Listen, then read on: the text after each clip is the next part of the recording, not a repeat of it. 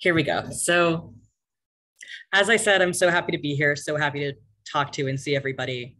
My name is Noah Zazanis. I, this is my first time giving this presentation, but I've been involved in all of these struggles for probably at least a decade in some capacity, one of the other. Um, I started doing sex work decriminalization work and drug decriminalization work, which is most of the organizing I'm doing now, about four, four or five years ago, um, shortly before the passage of Sesta Fosta, which was a very bad law that affected sex workers very negatively. And I'll talk about that a little in the presentation. But my current work now is with the Urban Survivors Union, which is an organization for people who use drugs. I'm in the Sex Workers Call, which is an intersectional call about the needs for people who trade sex or are trafficking survivors and who also use drugs. At the same time, I've worked for abortion access nonprofits. I used to work for the Guttmacher Institute. I did trans health research. I have a master's in epidemiology technically, and my research is on trans people's experiences of chronic pain. I'm trans myself, drug user myself, a bunch of other things myself. Um, this is all really important to me, and I'm excited to talk to you about it. So, as some of you probably know, as probably a lot of you know, recently there was a leaked document that comes from the Supreme report comes from the desk of Samuel Alito showing plans to repeal the decision of Roe versus Wade. This would not immediately criminalize abortion in the US. It's important to say that. What it would do is leave it back up to the states like it was before Roe versus Wade was passed. This means, of course, that in a lot of red states, including Kentucky, abortion access is likely to be rolled back significantly. In the decision written by Alito, there was a section that stuck out to me from the beginning this section said these attempts to justify abortion through appeals to a broader right to autonomy and to define one's concept of existence prove too much. These criteria at a high level of generality could license fundamental rights to illicit drug use, prostitution, and the like. It's dark, it's depressing. And at the same time, I'm like, yes, absolutely. You know, we do believe in bodily autonomy. We do believe that people should not be criminalized for what they do with their bodies and what they do to survive. And that's really my starting point with this presentation and everything I say is gonna be guided by those principles. With regard to abortion in particular, Roe versus Wade is still the law of the land currently. The draft document hasn't been released, but already with current laws, there's many areas in the country where it's difficult to get an abortion. In order to get a clinic abortion, you know, where you go to a doctor, you can take a medication or experience a surgery, and get abortion that way. In some areas, it's over 200 miles, 100 miles. Lots of difficulties of access just by driving. And additionally, you know, there are waiting periods, parental consent laws, all sorts of laws that have been put up in order to restrict access to legal abortion without necessarily repealing Roe versus Wade. Sorry, I'm going back and forth. Um, as we can see here, though, you know, if Roe is overturned, there's going to be far more abortion deserts, far more difficulties in access, far more areas where the nearest abortion clinic isn't within 100 or 200 miles. It's going to be much harder for people to access, but still an extent of criminalization will vary throughout the country. And in a lot of places, it will be similar to how it is now with access being impossible or difficult already. This is why it's important to look at what people are already doing to guarantee abortion access in areas where abortion is difficult to receive. Organizations like Plan C and like Women Help Women help pregnant people access two medications, misoprostol or mifepristone, in order to do self-managed abortion. A self-managed abortion is any abortion that happens outside of the care of a provider, either through telemedicine or through an in-person in a clinic there are lots of organizations, lots of people who help people self-manage their abortions, and self-managed abortion is medically safe as much as you know any medication, any procedure has risks, but overall very safe. The problem is criminalization.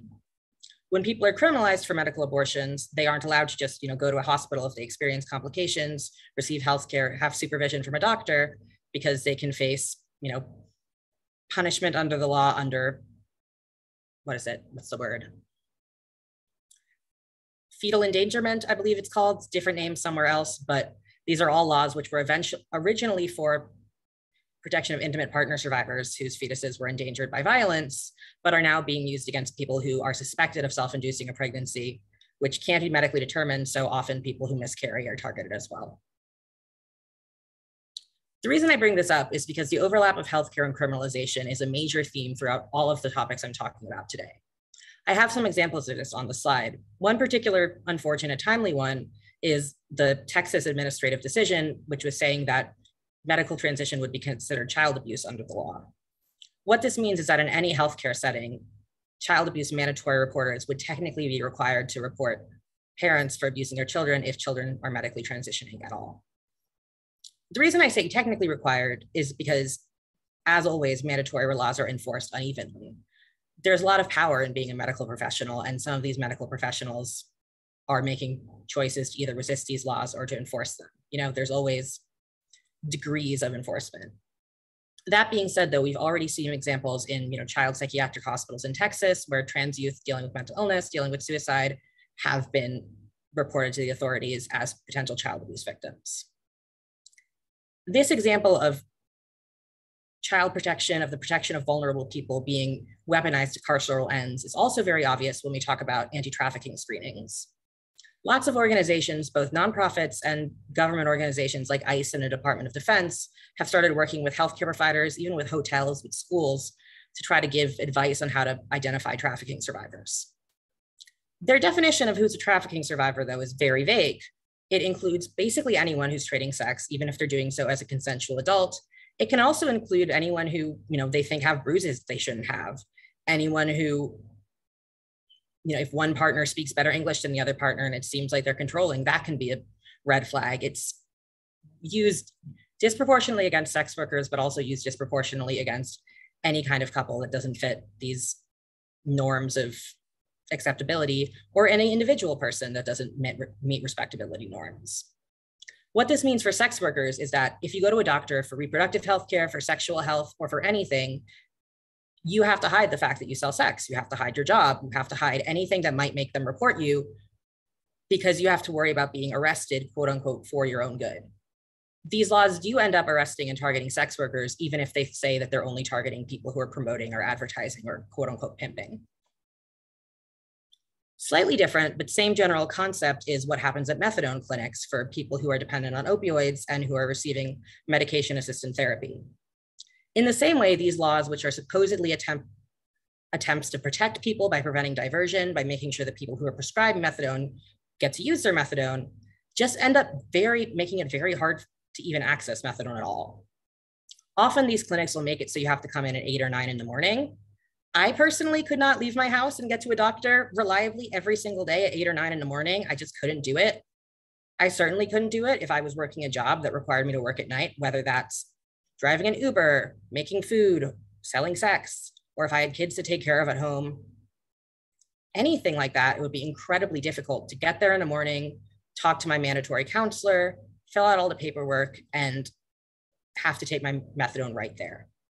Over the COVID 19 pandemic, because of the viral risks of having to go in person, some states have made much more lax methadone policies. So people have been able to take their methadone home and this has been really good for relapse prevention, for keeping people from having to use drugs on the street, preventing fentanyl poisonings, preventing overdoses. At the same time, a lot of these laws are being rolled back because the DEA is tightening restrictions again, because clinics have changed their individual policies, various reasons. And that, once again, makes it harder for people to receive the healthcare they need and makes it harder for them to proceed in their recovery or in reducing harms of opioid use. I realized that I never finished this slide, so I'm just gonna wing it. Sorry about that. Sex work is an umbrella term referring to dot, dot, dot. It's referring to a lot of things. It's referring to what's considered under the law prostitution, having sex for money. It also refers to stripping, exotic dancing. It also refers to any kind of fetish work, pro-doming, pro-subbing, rope tying.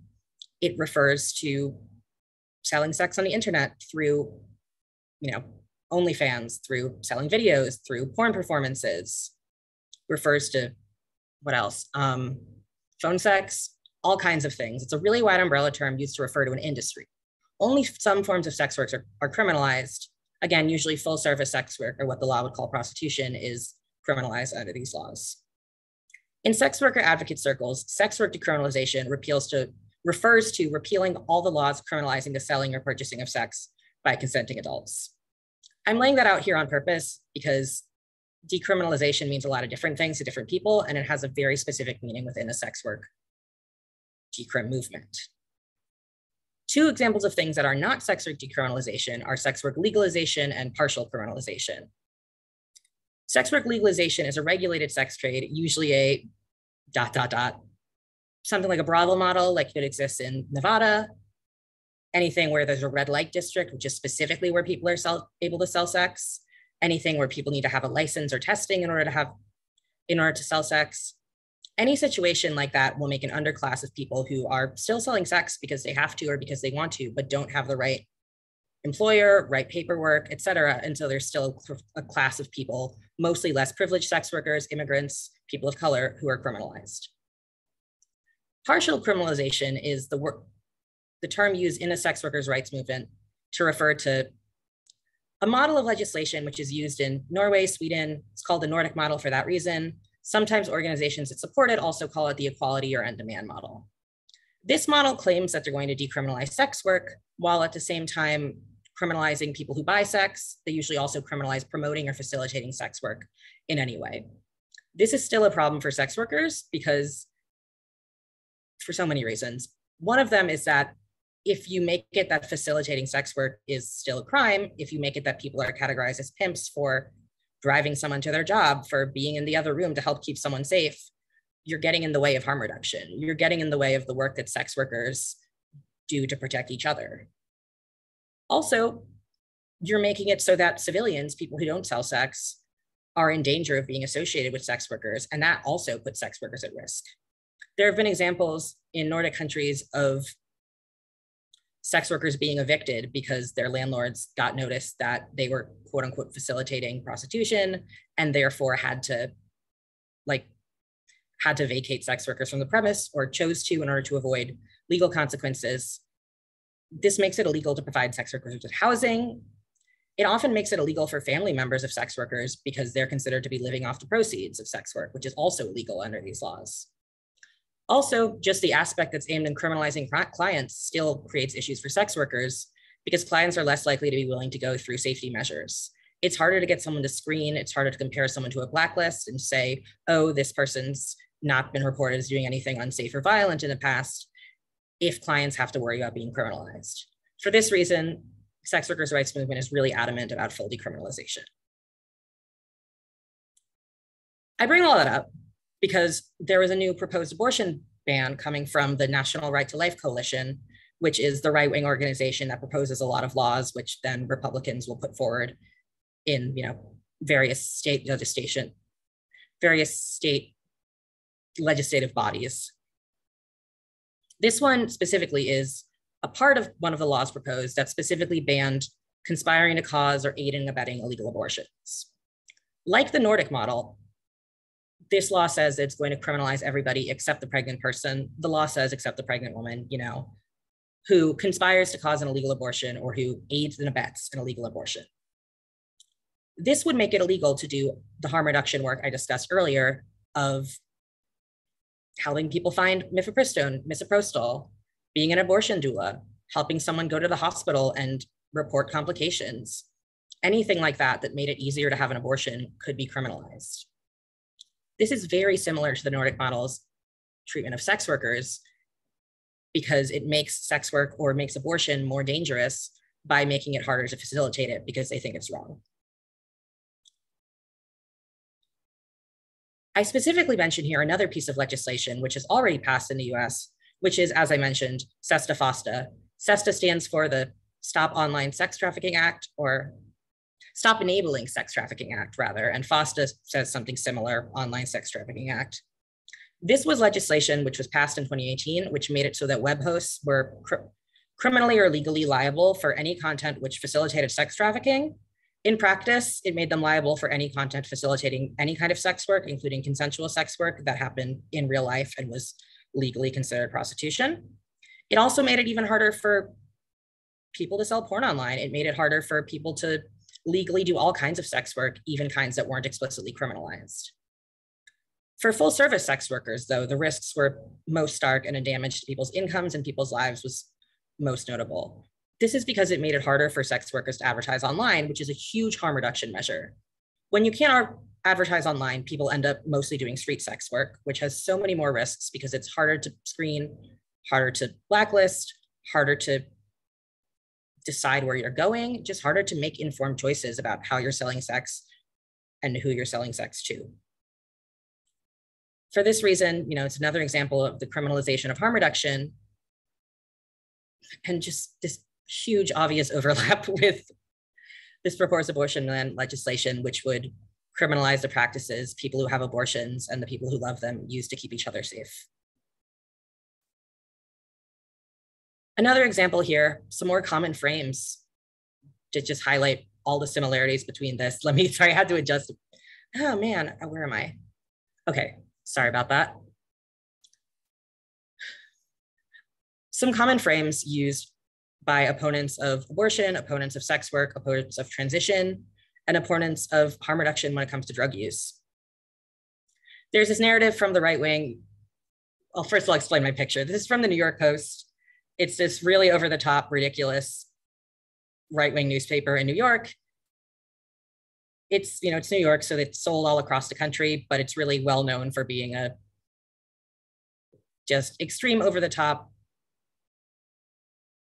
and yet also kind of ubiquitous right wing themes that show up in regular politics as well. You know, these are kind of funny examples, but just looking at the frames, the first one, taxpayer money and deservingness. With abortion, we see this with the Hyde Amendment and with all of the panic about federal dollars going to Planned Parenthood. People have this idea, very common in the US, that people who spend more taxes deserve to have more say in their government this idea that our taxpayer money shouldn't be going for bad things, it should only be going to good things, and that you shouldn't have to pay for someone else's healthcare if you don't approve of it. This is why the Hyde Amendment, which banned Medicaid funding or any federal funding for abortion, passed so much earlier before any repeal of Roe versus Wade was looking likely or was leaked.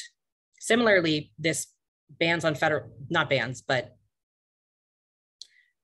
every few budget cycles, there are these discussions of federal funding of Planned Parenthood where people would talk about Planned Parenthood does abortions, we shouldn't be spending money on abortions, even though the Hyde Amendment already made it so that wasn't the case. And then, you know, we'd have to have these arguments about actually Planned Parenthood does pap smears, et cetera, as if abortions aren't healthcare, as if people don't have a right to healthcare, as if anyone who's receiving Medicaid because they're poor shouldn't be able to receive free healthcare, as if people in general shouldn't be able to receive free healthcare, including abortions. This idea of people who don't deserve something getting something shows up in this, you know, when the COVID restriction, when COVID restrictions made it so that restrictions on methadone were loosened, some clinics in NYC were delivering methadone to people's doors. So you get this panicked headline of NYC delivering methadone to addicts, which is a you know unkind, stigmatizing word with coronavirus, as if as if people who are dependent on drugs shouldn't have methadone, as if they should have to suffer. On a different level, but doing a lot of the same work, we've got these ideas about abortion regret. They've got these narratives that, you know, abortion will make you infertile, which isn't true, which is very similar to these narratives that puberty blockers or hormones will always make you infertile, which is also not true. And ignores that people, including children, can give informed consent to hormones, knowing that there are risks to fertility, knowing that changes might happen that they don't support, knowing that, you know, people make decisions in their healthcare all the time. They get knee surgeries, they get elective surgeries of all kinds that they could potentially regret later on. People's moral judgments get involved. These panics about regret and about future fertility have been used to support laws like mandatory wait periods, which make it so that people who are pregnant have to wait 24, 48, even 72 hours between talking to a doctor to getting an abortion, and also ultrasound laws, which make it so you have to look at a fetus on an ultrasound as if people aren't capable of making decisions without that. You can see that, again, kind of over the top, but real example where New York Post is like, I literally lost organs. Why detransition teens regret changing genders? You know, it's, I don't know, it speaks for itself, honestly. The last thing, which we've been seeing so much of with drag queen story hours, with transition, but which we see here with the sex work is not a bad term, says book for high schoolers, is this moral panic about grooming. This idea that queer people, that people who facilitate abortions, that anyone who wants to reduce harm for sex workers must be grooming people, must be forcing people, must be sexually abusing young people.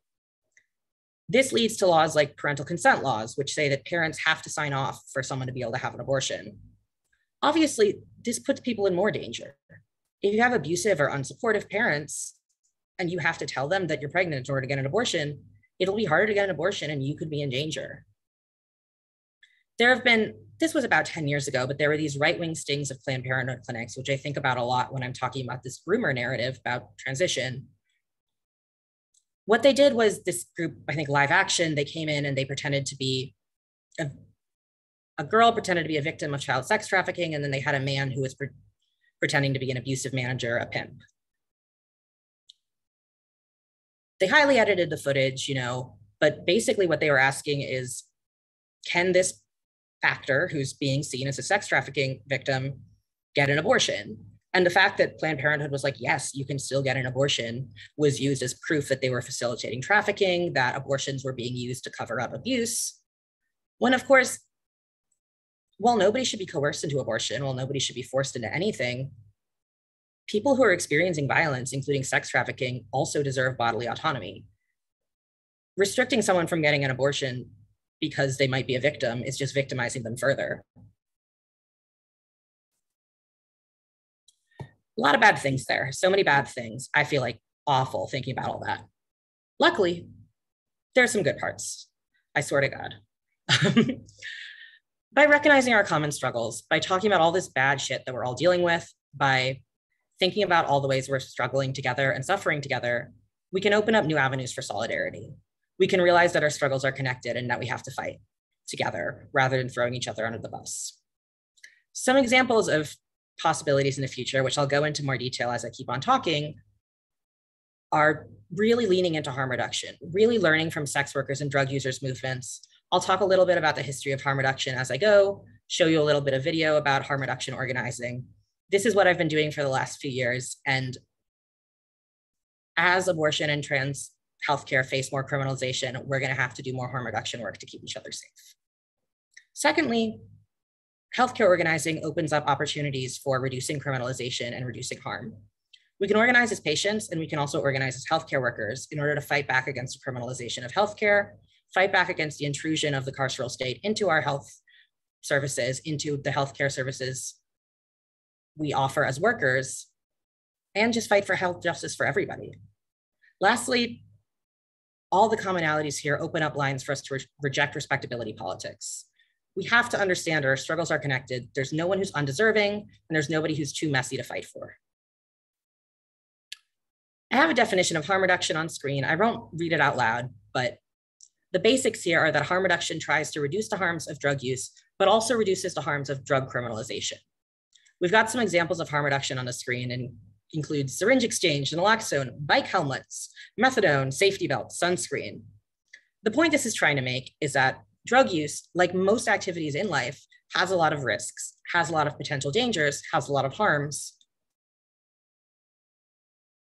People can still make informed decisions about drug use, and people shouldn't have to be criminalized or shouldn't have to be forced to abstain from drug use in order to receive healthcare, in order to receive services, and in order to use as safely and as healthily for them as possible.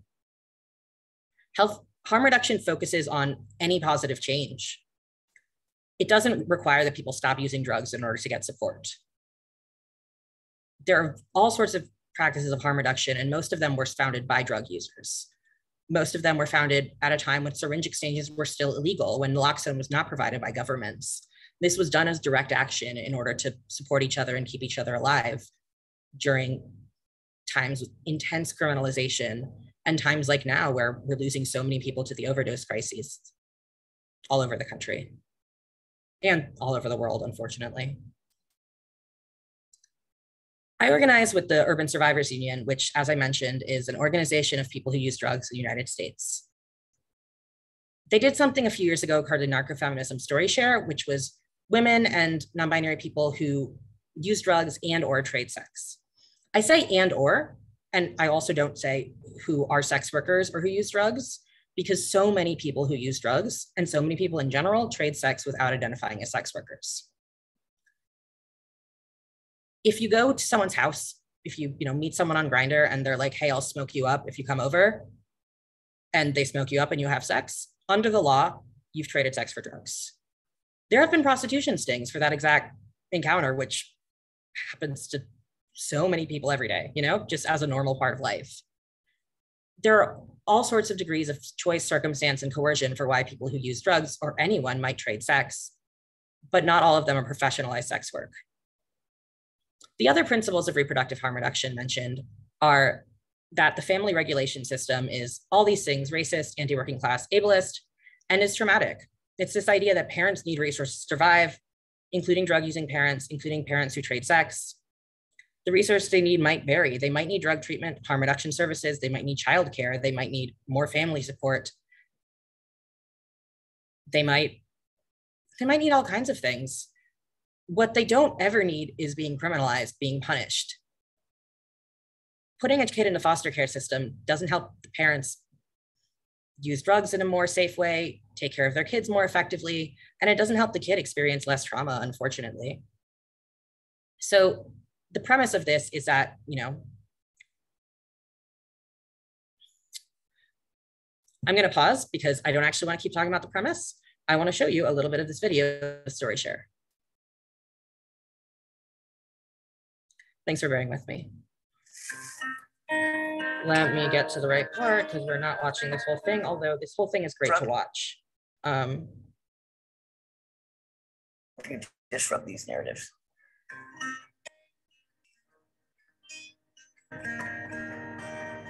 Hi, I'm Tina. I'm Abby. And I'm Louise. I'm Katie. And I'm Dinah. So, welcome to Narcofeminism. We are working with women around the world to talk about issues related to substance use and women's health and women's lives and our dignity and and all of the different ways where substance use impacts our stories. Um, many of us, many of us have never heard our stories told. Many of us have tried to make sense of our lives in the kinds of ways where we say things like "It's a good thing they took my child," or "So good I went to jail. That was a good experience." Mm. Um, and, and and I believe, and I think you know, those of us that have been working with this project believe that that's just us trying to make sense of things. That's just us trying to figure out, you know, things like, well, maybe some time and space helped. It didn't have to be dehumanizing and animalistic and all of these other things. But we started out just talking about the issues that we as women who use drugs, and we say women with the X in it. So this is women, non men, what are the issues that are important to us? We've covered so many points in our narco-feminism story share project, and we've gone into so many topics and have a lot of nuanced analysis. But I think we have three overarching points that we want to make today. Um, and the first one is just the sheer importance of being able to identify with a narrative.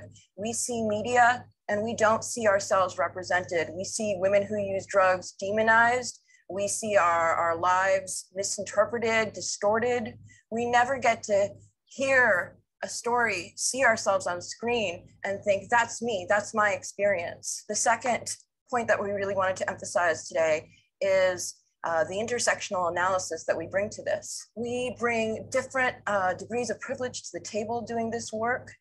And when some, while some of us might suffer to some degree from criminalization and stigma, those of us who have more intersectional challenges, who are people of color, who are uh, low income, who are you know uh, more marginalized genders, all of us, those of us suffer much more. And the last thing that we wanted to cover today is somewhat segues from that second point, which is the respectability politics around drug use um, and which drug use is appropriate and which uh, puts that red A on your chest for addiction and you know we have all of these trends and memes around wine moms you know these wine moms would never think of themselves as you know parenting people who use drugs and yet that's exactly what they are but we know that the parenting people who use drugs that are truly pillorated who are separated from their families who get convicted under fetal assault laws those are us, those are people who are more low income, more marginalized, using more criminalized drugs. Before we get started, can we just have a moment of silence for all of the women? Uh, we know we have women um, currently. We are not actually going to do a moment of silence. Sorry to Louise from the video, um, who I do organize with. But um, let me get back to this video, um, this slideshow rather.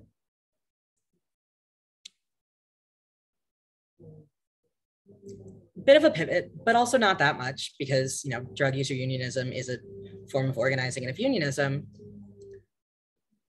some people who, as I alluded to earlier, have a lot more power to resist criminalization of healthcare is healthcare workers themselves.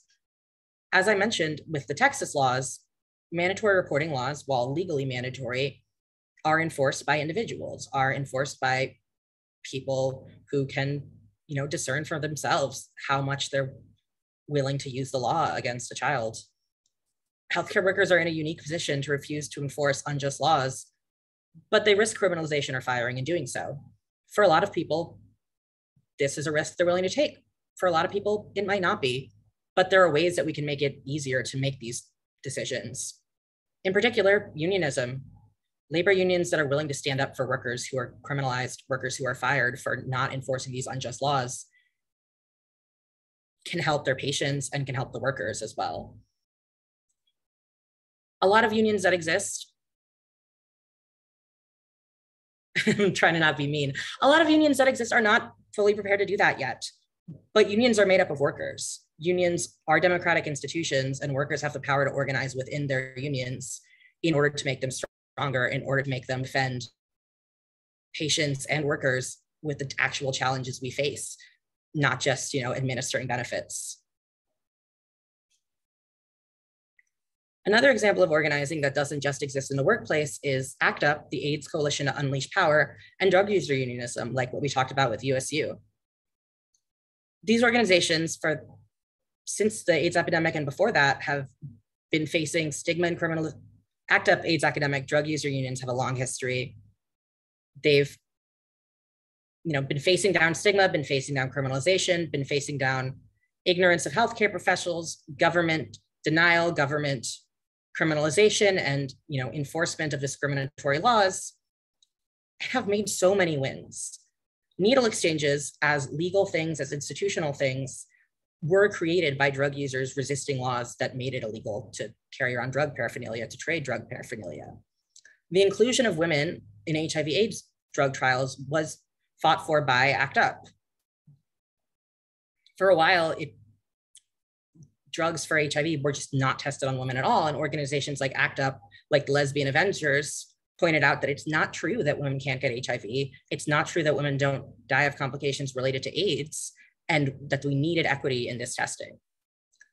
Similarly, the FDA approval process was restructured because of organizing by ACT UP, because of die-ins, because of people chaining themselves to government buildings, because of really intense direct action, and because of research done by lay people, done by healthcare professionals, looking at potential treatments and saying, we need these approved faster. We need better ways to get drugs approved that don't make people wait years when there's a pandemic on this has been very useful in the COVID-19 pandemic, has helped vaccines and drugs get approved in ways that weren't the case before ACT UP. So it's very much still relevant today and ACT UP still exists today. They're still fighting for the rights of people with HIV.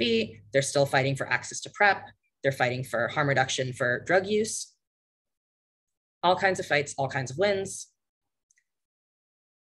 Lastly, community-driven research, like that being done by ACT UP and like that being done in drug users unions, is research done by people who are directly affected by criminalization, who use drugs, who trade sex, by trans people, by people who've had abortions, by anyone who is affected by an issue and yet is excluded from places where decisions are made, where research is made about this issue. In that way, it's able to prioritize specific health needs, the on the ground needs of communities, not just what funders want, not what governments or institutions want. Lastly, more than anything, I want to emphasize rejecting respectability politics. Respectability politics was a term coined by Dr. Evelyn Brooks Higginbotham in her book about the Black church and the civil rights movement. There are purposes for respectability politics. If you're going to court and you need to defend yourself, if you need a lawyer to defend you, you might want to wear perils or a suit jacket and not, you know, a glittery lame onesie. If you're going to go talk to a congressperson as a lobbyist, if you're going to go see a doctor and try to advocate for yourself in a healthcare setting, making yourself respectable makes sense to get your needs met. But when our social movements are predicated on respectability, on looking appropriate, on looking like we deserve good things, like we deserve to not suffer, there's always somebody who's less respectable than you are. There's always someone you're throwing under the bus. An example of this that I see a lot in abortion advocacy is when we try to bust stereotypes about abortion by saying, most people who've had abortions already had a kid. Plenty of you know, middle class married people have abortions. That's all true. It's important to say that anyone can have an abortion. At the same time, abortion is healthcare and people deserve it, even if they're being irresponsible, even if they're having sex outside marriage, you know, air quotes around irresponsible, of course, even if they're having unprotected sex, even if they've had sex with clients that resulted in a pregnancy, even if they had sex where they were too high to remember to use their birth control as they intended to. And certainly, even if they're not a cis person. Often, you know, movements like many parts of the abortion rights movement will say, we need to focus on narratives that can win. We need to not focus on these specific narratives that you know only affect certain people or that make us look too niche. But this has effects on people's actual healthcare. When abortion providers carry respectability politics attitudes, for example, and they're providing abortion or any kind of sexual health care to somebody who trades sex or use drugs, judgment, moralizing, and even reporting, even anti-trafficking reporting, even, you know, reporting of people if they already have kids and use drugs can get in the way of the healthcare that people are requiring. When we move away from respectability politics, my hope is that we can move towards a politics of solidarity. This is not just charity. This is not just, oh, we should take care of people who are suffering more than us. It's not even, oh, we have things in common, so I like you and we should get along and fight together.